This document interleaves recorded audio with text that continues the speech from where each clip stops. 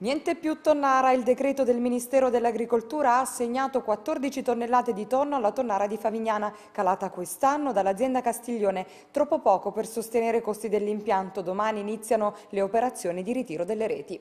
Bentrovati con la nostra prima finestra informativa dedicata alla notizia del giorno. Questo è il nostro servizio. Una doccia fredda che ha fatto cessare all'istante l'entusiasmo per il ritorno nel mare di Favignana della tonnara, lasciando tanta delusione e amarezza per l'ennesima occasione persa per il territorio. Il decreto del Ministero dell'Agricoltura, che ha fissato la ripartizione delle quote tonno indivise, ha assegnato alla tonnara di Favignana solo 14 tonnellate di pescato. Troppo poco per sostenere i costi di un impianto, dai costi elevatissimi, che ammontano a diverse centinaia di migliaia di euro. Una situazione che ha costretto l'azienda Castiglione, che aveva scommesso con determinazione sul ritorno della tonnara di Favignana con un ingente investimento imprenditoriale, a tirare i remi in barca interrompendo la pesca. Proprio in queste ore la Castiglione ha comunicato alla Capitaneria di Porto di Trapani che domani inizieranno le operazioni di rimozione delle reti della tonnara di Favignana. L'impianto sarà quindi salpato nei prossimi giorni, facendo venir meno decine di posti di lavoro e le aspettative di un intero territorio. Come ovvio si tratta dell'ennesimo colpo al comprensorio trapanese e al suo già debole tessuto economico. La tonnara, dunque, salta. L'azienda trapanese puntava a non meno di 80 tonnellate di quota tonno, quantitativo necessario per garantire la sostenibilità economica finanziaria dell'attività ma alla Sicilia sono andate appena 14 tonnellate, il che ha reso economicamente insostenibile l'impresa economica per la Castiglione, da dove hanno evidenziato come in nessuna azienda si possa permettere il cambio in corsa delle regole del gioco, augurandosi che in un prossimo futuro il Ministero abbia maggiore rispetto per chi invece non solo per profitto, ma per cultura, tradizione e occupazione Ci fermiamo qui con la notizia del giorno, ma io vi aspetto dopo la pubblicità.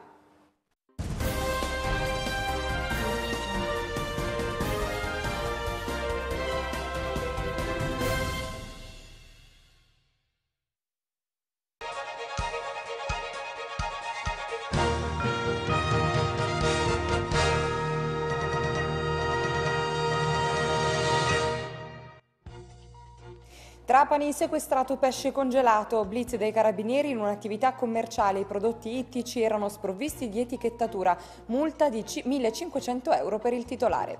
Vitello di ritorno, i carabinieri di Custonaci hanno arrestato un uomo che dopo aver rubato l'animale in un ovile ha contattato il proprietario chiedendogli 500 euro per la restituzione.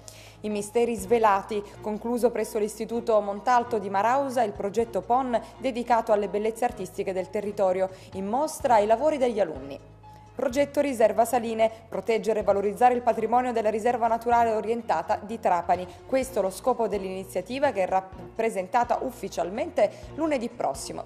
E per lo sport ancora solo parole. Mentre sale la febbre per l'acquisto eh, per il biglietto della partita di domenica, da voci vicine alla squadra abbiamo appreso che solo una piccola parte dei giocatori ha percepito lo stipendio di marzo. Le carte scoperte per l'approfondimento delle 14.20 daremo spazio alla cultura per parlare dei personaggi illustri trapanesi di cui parla Salvatore Accardi nel libro presentato ieri al Museo Pepoli di Trapani. Un ben trovato a tutti voi con le nostre notizie. Prima il furto, poi la richiesta estorsiva. Un uomo di 69 anni è stato arrestato dai carabinieri di Custonaci. Dammi 500 euro e ti ridò il vitello.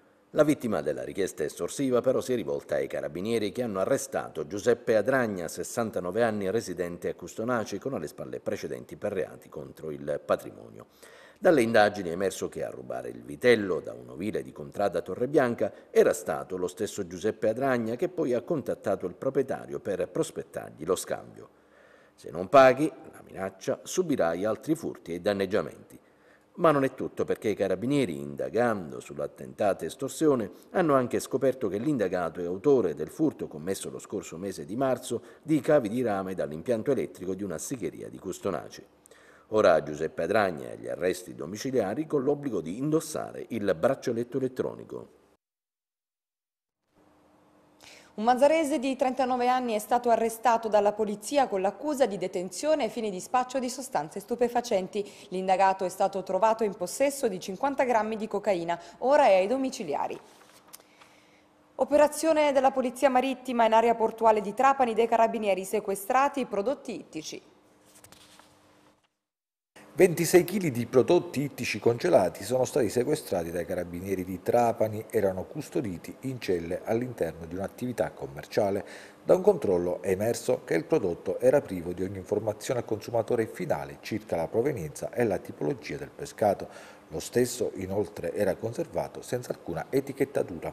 Il controllo, mirato a garantire la tutela di ogni fase del commercio di prodotti ittici, si è concluso con il sequestro e la contestazione di una sanzione amministrativa di 1.500 euro elevata nei confronti del proprietario dell'attività commerciale.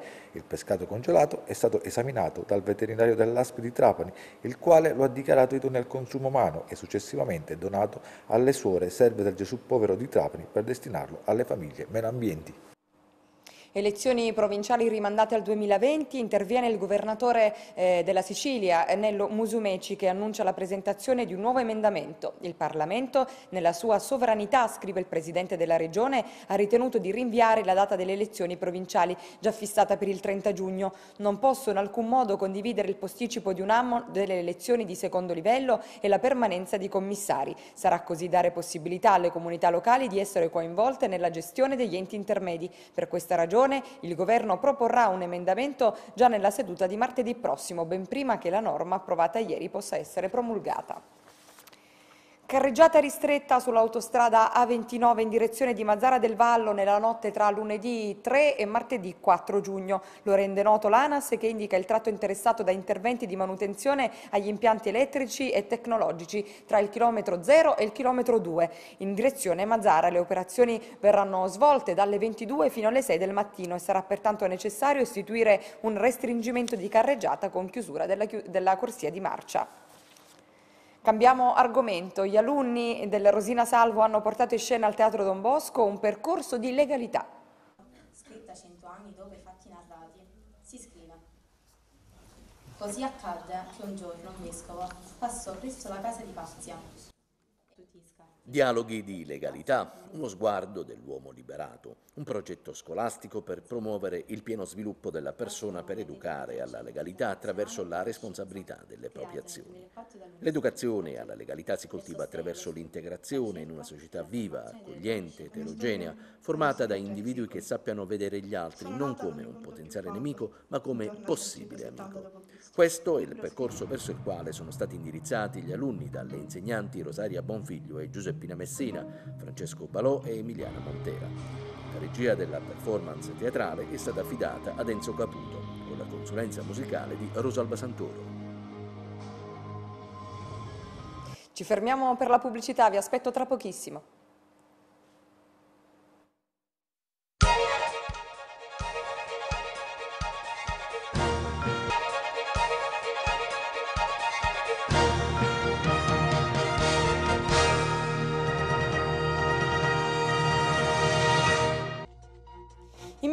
Svelati, concluso presso l'Istituto Montalto di Marausa il progetto PON dedicato alle bellezze artistiche del territorio, in mostra i lavori degli alunni. Progetto Riserva Saline, proteggere e valorizzare il patrimonio della riserva naturale orientata di Trapani, questo è lo scopo dell'iniziativa che verrà presentata ufficialmente lunedì prossimo. E per lo sport ancora solo parole, mentre sale la febbre per l'acquisto del biglietto per la partita di domenica, da voci vicine alla squadra abbiamo appreso che solo una piccola parte dei giocatori ha percepito lo stipendio di marzo. Si è concluso presso l'Istituto Giuseppe Montalto di Marausa il progetto PON dedicato alla valorizzazione dei tesori artistici del territorio. Gli alunni hanno scelto il tema I misteri svelati e hanno sviluppato una serie di temi legati alla processione del Venerdì Santo a Trapani. I lavori realizzati sono stati messi in mostra ai nostri microfoni la dirigente scolastica Maria Letizia Gentile.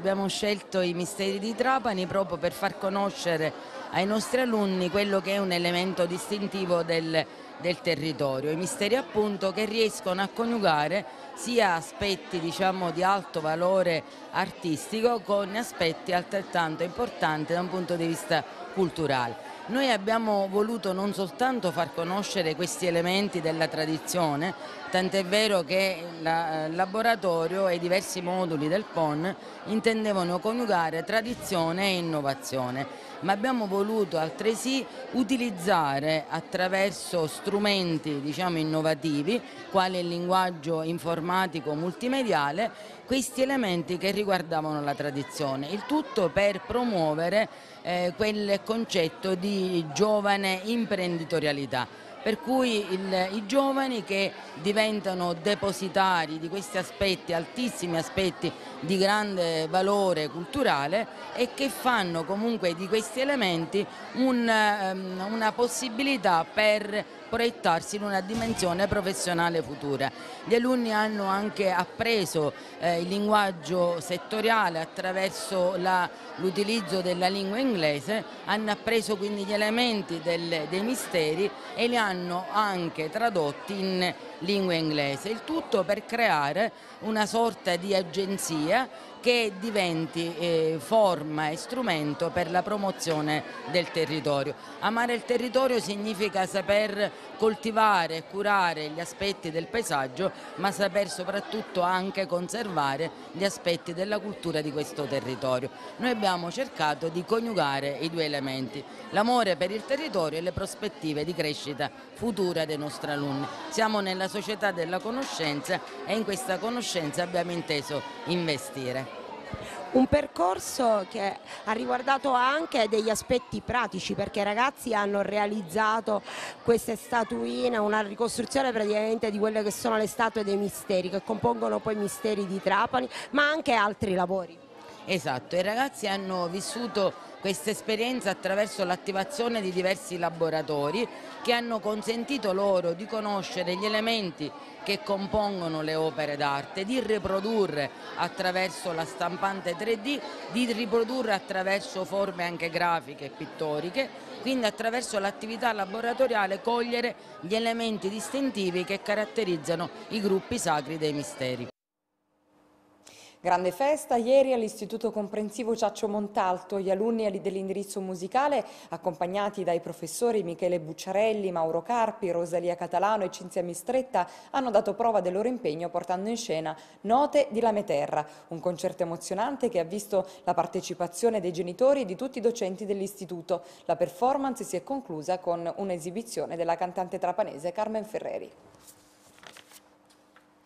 Bando Ambiente di Fondazione con il Sud, al via il progetto per la tutela della biodiversità e del patrimonio naturale della riserva delle saline di Trapani e di Paceco. Proteggere e valorizzare il grande patrimonio naturalistico della riserva naturale orientata delle saline di Trapani e Paceco attraverso interventi di recupero a tutela della biodiversità, momenti formativi e di sensibilizzazione della comunità locale. Questi gli obiettivi del progetto Riserva Saline, avviato da una serie di partner locali che ha ottenuto un importante contributo nell'ambito del bando Ambiente 2018 indetto da Fondazione Con il Sud, che finanzia progetti esemplari per la prevenzione e riduzione dei rischi ambientali all'interno dei parchi e delle aree naturali protette meridionali, favorendo una costruttiva sinergia fra enti pubblici, associazionismo e privati. Lunedì 3 giugno alle ore 10 presso il Centro di Cultura Gastronomica Nuara si terrà una conferenza stampa del progetto alla presenza di tutti i partner.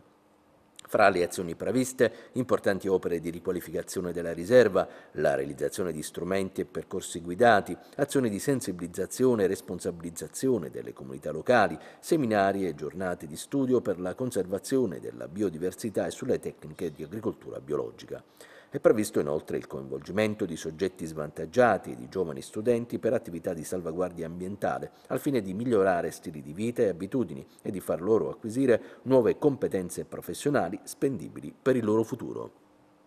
Un concerto domani pomeriggio con inizio alle 17.30 all'auditorium eh, della Madonna di Fatima con musiche degli anni 70 proposto dagli Evergreen un concerto di canzoni di ieri e di oggi. Evergreen quindi sempreverdi perché? Perché tramite la musica che eh, in pratica rallegra i nostri cuori, ci sentiamo giovani.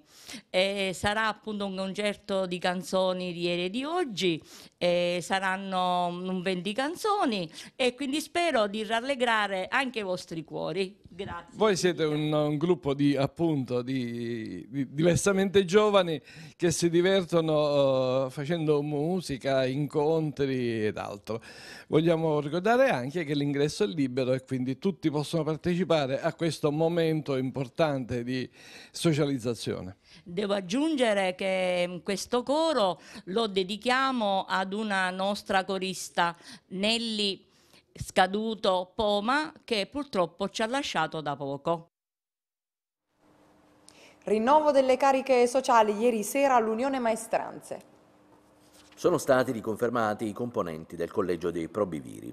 Carlo Gianformaggio, Mario Laudicina e Massimiliano Galuppo resteranno in carica per il triennio 2019-2022. Non altrettanto unanime è stata la votazione per il rinnovo del Collegio dei Revisori dei Conti, dove ai tre nominativi degli uscenti si sono aggiunti altri due candidati. La precedente compagine era rappresentata da Giuseppe Di Capizzi, Giuseppe Todaro e Stefano Pecorella, ai quali si aggiungono Domenico Strazzera e Bartolomeo Silleri. Dopo la votazione, la nuova compagine vede riconfermato il solo Di Capizzi, a cui si aggiungono Strazzera e Silleri. Alla votazione ha partecipato, seppure astenendosi, l'avvocato Vincenzo Scontrino in rappresentanza del gruppo dell'Ascesa al Calvario, che, ricordiamo, dopo l'ultima processione in polemica con l'attuale direttivo, ha scelto di abbandonare l'Unione, ma secondo le norme statutarie fino al 31 di dicembre fanno parte del sodalizio. Proprio l'avvocato Scontrino ha sollevato qualche perplessità a riguardo dell'elezione di Strazzere e Silleri, per i quali, sempre a norma di quanto previsto dallo Statuto, è stata contestata la non dimissione dai gruppi di appartenenza. Lo stesso rappresentante dell'ascesa al Calvario, pur non manifestando alcuna intenzione di impugnare l'elezione, ha denunciato l'irregolarità procedurale che potrebbe anche portare all'annullamento della votazione. Tre giorni di mare, sport e divertimento a San Vito Lo Capo, dove prende il via oggi la prima edizione del San Vito Vela Fest. Alla manifestazione promosso dal Comune e dal Centro Velico Siciliano di Palermo partecipano 20 imbarcazioni d'altura. Gli equipaggi sono partiti questa mattina dal Golfo di Mondello. Il loro arrivo a San Vito è previsto intorno alle 18. Domani e domenica verranno disputate le regate lungo la costa sanvitese. Fino a domenica inoltre si potrà visitare il villaggio della Vela con stand espositivi a tema nautico e partecipare inoltre a dei dei corsi gratuiti di avviamento alla vela con uscita in mare. Si svolgeranno laboratori di educazione ambientale per i più giovani. Adesso vediamo un po' che intenzione ha di fare questo tempo.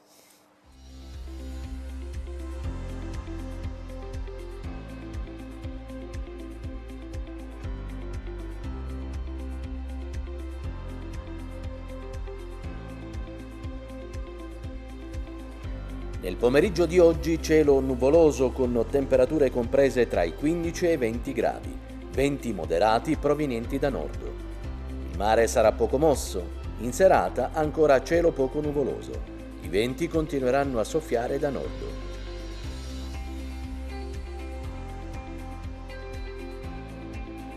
Per domani mattina cielo poco nuvoloso con venti moderati provenienti da nord. Le temperature minime saranno attorno ai 13 gradi, sui 19 le massime. Mare sarà poco mosso, i venti continueranno a soffiare da nord.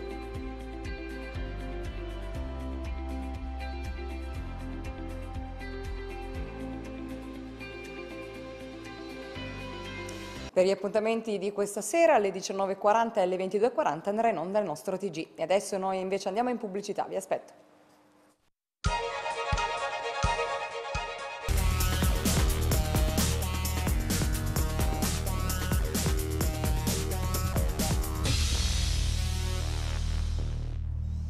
Eccoci con lo sport, naturalmente siamo già proiettati alla partita di domenica tra Trapani e Catania. Conosciamo intanto l'arbitro che è il signor Simone Sozza di Seregno, saranno suoi assistenti Alessandro Pacifico di Taranto e Marco Trinchieri di Milano. Il quarto uomo invece sarà Andrea Zingarelli di Siena.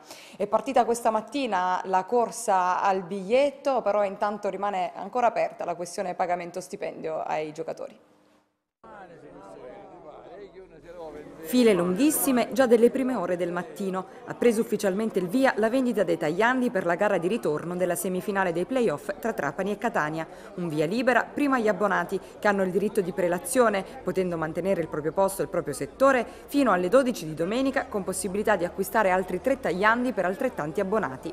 Il tutto presentando in biglietteria l'abbonamento per la stagione 2018-2019. A mezzogiorno invece la vendita degli altri biglietti. Per gli abbonati l'acquisto può essere effettuato effettuato esclusivamente presso la biglietteria del Trapani Calcio. Per tutti gli altri invece presso i rivenditori autorizzati Viva Ticket anche per i biglietti ridotti. Per conoscere punti vendita Viva Ticket a Trapani basta collegarsi sul sito segnando la regione Sicilia e la provincia. Per i tifosi del Catania sono 404 i biglietti a disposizione nel settore ospiti che possono essere acquistati a partire dalle 12 di oggi e fino alle 19 di sabato 1 giugno. Non è necessaria la tessera del tifoso. I tifosi del Trapani non vogliono mancare all'evento e si stanno organizzando per fare le file nei punti vendita, come alla tabaccheria Ursi, in cui gentilmente il proprietario per ingannare l'attesa ha anche offerto le pizze. Torniamo indietro nel tempo con i ricordi, alla finale per la Serie A col Pescara o a quella per la Serie B con Lanciano, tutti ricordi indelebili, ma ora c'è un fattore in più, c'è l'incertezza del futuro. Da fonti vicine allo spogliatoio abbiamo appreso che soltanto una limitata parte del gruppo ha percepito lo stipendio di marzo, contrariamente a quanto fatto sapere qualche giorno fa per vie informali dall'amministratore delegato del Trapani Maurizio De Simone.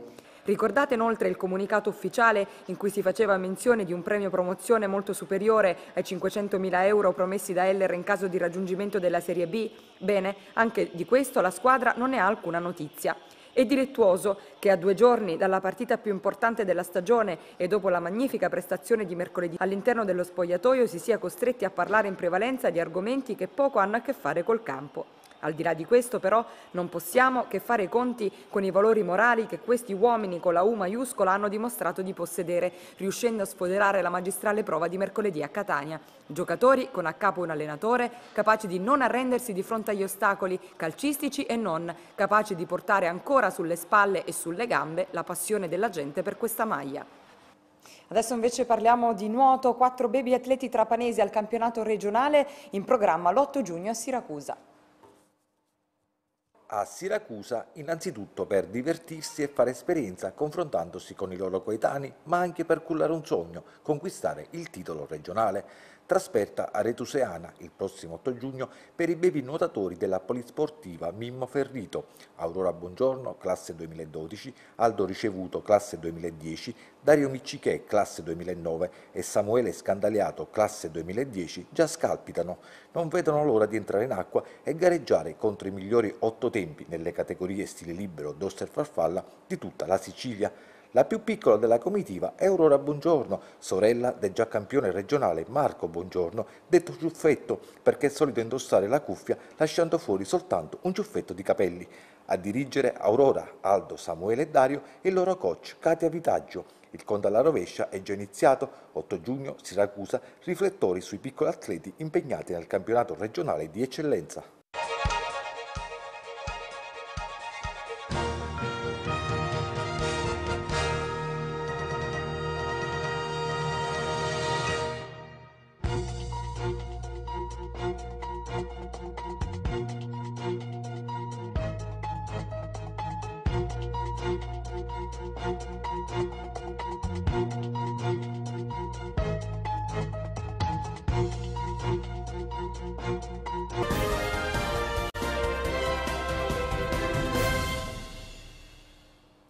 Carte scoperte, presentato al Museo Pepoli il libro di Salvatore Accardi eh, che racconta le storie di diversi personaggi trapanesi vissuti tra il XVII e il XIX secolo. Questo è l'approfondimento di oggi. Salvatore Accardi da anni si dedica alla consultazione delle antiche scritture sulla storia della città di Trapani, spulciando i documenti custoditi nell'archivio di Stato, tra registri notarili, atti e tutte quelle carte che raccontano secoli di storia ricerche che oltre ad essere pubblicate nel suo sito trapaniinvittissima.it e su altri portali come trapaninostra.it, arricchendo il patrimonio del materiale che si può consultare online sulla storia di Trapani, hanno portato Salvatore Accardi a raccogliere i suoi studi nel libro dal titolo Le carte scoperte, che parla di diversi personaggi illustri trapanesi vissuti tra il XVII e il XIX secolo. Il volume è stato presentato ieri pomeriggio al Museo Pepoli nel corso dell'incontro a cui sono intervenuti Francesco D'Aleo, il professore Maurizio Vitella, il direttore del Polo Museale Luigi Biondo, oltre che lo stesso autore, che ha illustrato il volume frutto del lavoro di ricerca fatto presso l'Archivio di Stato di Trapani. Per scriverla ho impiegato due anni e mezzo, per le ricerche ho preso tutto quello che sono riuscito diciamo, a leggere nel corso di vent'anni frequentando l'Archivio di Stato di Trapani. Sono stati dei personaggi già trattati da storici come Giuseppe Giuseppe Maria Ferro e l'occasione l'ho avuta per completare dei, degli con aneddoti o altre storie di vita trovate tra le scritture notarili la, la conformità dei personaggi stessi. E sono dei personaggi che riguardano, cioè le categorie che riguardano pittori, scultori, uno spadaccino in particolare, un medico che debellò la peste a Malta e alla Goletta di Tunisi e a Palermo e poi ci sono i, i famosi fratelli Tipa che sono stati molto famosi in quel periodo. I personaggi illustri raccontati nel libro sono divisi per categorie, tra cui c'è quella dei mercanti, da dove emerge lo spaccato nella vitalità economica di Trapani. E tra i commercianti più attivi e di successo c'è stato Salvatore Malato. Riguardo i, questi personaggi trattati, mi, mi, piace ricordare Salvatore Malato, un, un mercante molto scaltro, arguto, intraprendente, che eh, percepiva l'affare a vista. Ogni giorno si recava dal notaio a fare una contrattazione di, che possa essere un trasporto di sala, un trasporto di cenere di soda che tramite altre vie arrivava fino eh, a Marsiglia,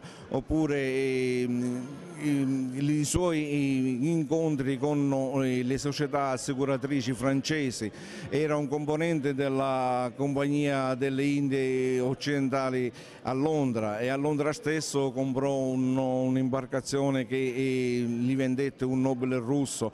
È un personaggio che per me è stato molto accattivante, di cui ho ricostruito anche determinati passaggi, perché è, stato diciamo, un cultore della finanza trapanese, potremmo definirlo un Berlusconi dell'Ottocento trapanese, tant'è vero che ebbe in vita il piacere e il privilegio di eh, vedere la, stra la strada in cui lui passava ogni giorno essere intitolata proprio a Salvatore Malato ed è un palazzo tuttora esistente in via Torre Assa e come riferimento posso dire che sotto c'è la libreria Giunti.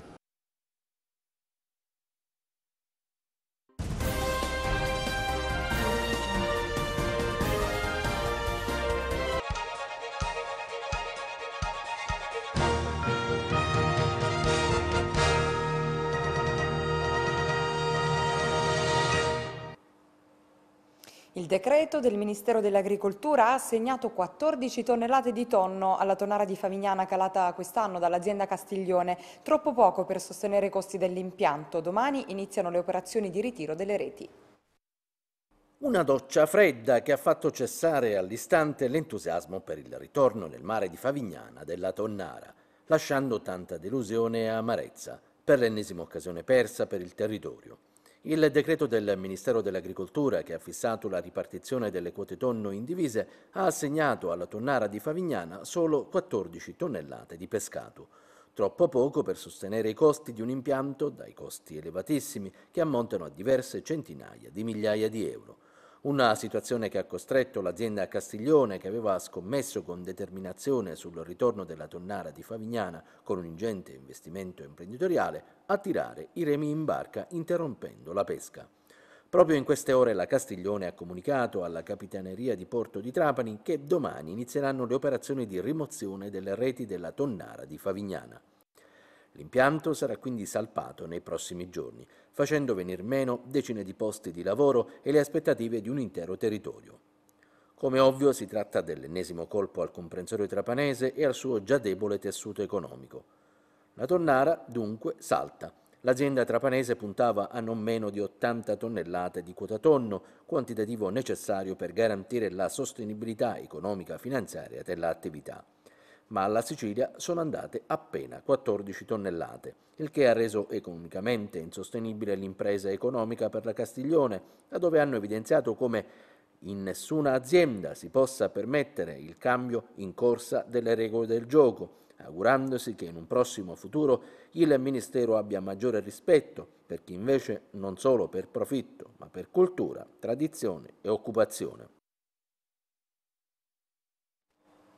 Elezioni provinciali rinviate al 2020, interviene il governatore della Sicilia Nello Musumeci che annuncia la presentazione di un nuovo emendamento. Il Parlamento nella sua sovranità, scrive il Presidente della Regione, ha ritenuto di rinviare la data delle elezioni provinciali già fissata per il 30 giugno. Non posso in alcun modo condividere il posticipo di un anno delle elezioni di secondo livello e la permanenza di commissari senza così dare possibilità alle comunità locali di essere coinvolte nella gestione degli enti intermedi. Per questa ragione il Governo proporrà un emendamento già nella seduta di martedì prossimo, ben prima che la norma approvata di ieri mm, possa essere promulgata. Operazione della Polizia Marittima in area portuale di Trapani dei Carabinieri sequestrati prodotti ittici. 26 kg di prodotti ittici congelati sono stati sequestrati dai carabinieri di Trapani, erano custoditi in celle all'interno di un'attività commerciale. Da un controllo è emerso che il prodotto era privo di ogni informazione al consumatore finale circa la provenienza e la tipologia del pescato. Lo stesso inoltre era conservato senza alcuna etichettatura. Il controllo, mirato a garantire la tutela di ogni fase del commercio di prodotti ittici, si è concluso con il sequestro e la contestazione di una sanzione amministrativa di 1.500 euro elevata nei confronti del proprietario dell'attività commerciale. Il pescato congelato è stato esaminato dal veterinario dell'ASP di Trapani, il quale lo ha dichiarato idoneo al consumo umano e successivamente donato alle suore serve del Gesù Povero di Trapani per destinarlo alle famiglie meno ambienti. Prima il furto e poi la richiesta estorsiva. Un uomo di 69 anni è stato arrestato dai carabinieri di Custonaci. Dammi 500 euro e ti ridò il vitello. La vittima della richiesta estorsiva però si è rivolta ai carabinieri che hanno arrestato Giuseppe Adragna, 69 anni, residente a Custonaci, con alle spalle precedenti per reati contro il patrimonio. Dalle indagini è emerso che a rubare il vitello da un ovile di Contrada Torrebianca era stato lo stesso Giuseppe Adragna che poi ha contattato il proprietario per prospettargli lo scambio. Se non paghi, la minaccia, subirai altri furti e danneggiamenti. Ma non è tutto perché i carabinieri, indagando sull'attentata estorsione, hanno anche scoperto che l'indagato è autore del furto commesso lo scorso mese di marzo di cavi di rame dall'impianto elettrico di una sicheria di Custonaci. Ora Giuseppe Adragna agli arresti domiciliari con l'obbligo di indossare il braccialetto elettronico.